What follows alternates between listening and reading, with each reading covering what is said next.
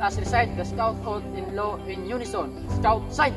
On my honor, I do well my best. To do my duty. To God and my country, to the Republic of Philippines, to obey the Scout law, to help other people at all times, to keep myself physically strong, mentally awake, morally straight, Scout is trustworthy, loyal, helpful, friendly, courteous, kind, obedient, cheerful, lifty, lifty, brave, clean, and reverent.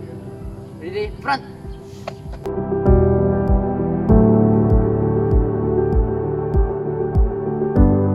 Bukas Farm School, George A. National Scout Jamboree,